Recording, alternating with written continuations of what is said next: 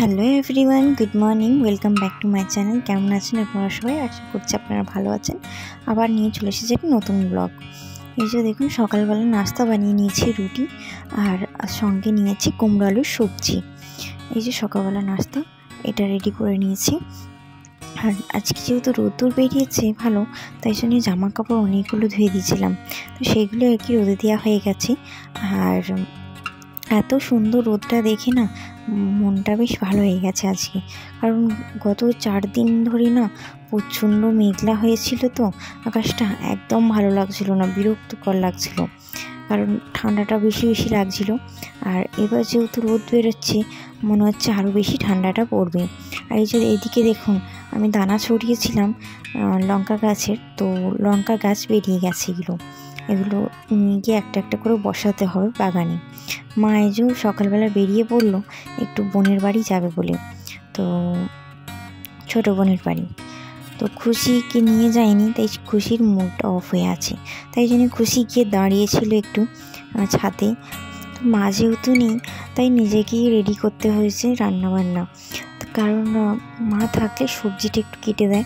এই যে পালং শাকের সবজি বানিয়েছি, পাঁচমিশালি আর চিংড়ি মাছ ছিল। তো চিংড়ি মাছের সব ঝাল করে দিয়েছি, ডাল বানিয়েছি। আর কিছু করতে পারিনি। রান্না করার টাইমে না খুশি একটু জ্বালাতন করছিল, তাই জন্য আর কি। এই যে বিকেলবেলা আর কি কাজ নিয়ে বসেছি আমি। আর এত সুন্দর মিষ্টি কালারের একটা কাজ নিয়ে বসেছি, দেখে মনটা আরও ভরে গেল। দেখুন, এত ভালো লাগছিল আমার কাজটা করতে না। আপনাদের সঙ্গে তাই শেয়ার করলাম। পুরো এগুলো আমি জুড়ে নিয়েছি আর মানে অস্ত্রর সঙ্গে আর কি জুড়ে নিয়েছি কাপড়টা। এইটা আজকে কাজ করব আর আপনাদেরকে একটা জিনিস শেয়ার করা হয়নি আমার, সেটা শেয়ার করছি। দেখুন, এটা আমার কিন্তু নতুন মেশিন তো এই মেশিনটা আগে আমি কিনেছিলাম এক মাস হয়ে গেল আপনাদের সঙ্গে শেয়ার করা হয়েছিল আমি তাই জন্য শেয়ার করলাম। আর এই যে দেখুন আমি কাজটা কমপ্লিট করে নিয়েছি। আর সিম্পলের মধ্যে এত সুন্দর লুকটা এসেছে, আমার তো জাস্ট এত ভালো লেগেছে, কি বলব? কাজটা। আমার যদি এরকম বেনারসি একটা পিস থাকতো সেম আমি কাজটা করতাম। আর এই যে দেখুন ব্যাক সাইডটা হয়েছে। এত ভালো লাগছে না, কি বলব? আমার বিয়ের বেনারসির ব্লাউজগুলো যদি এরকম করা হতো আরও ভালো হতো। আর মানে কাস্টমার এমন সাজেস্ট করছে সিম্পলের মধ্যে আমার তো ভীষণ ভালো লাগছে। আর এই দেখুন, লাটকানটা বলেছিল একটু হেভি করে দিতে।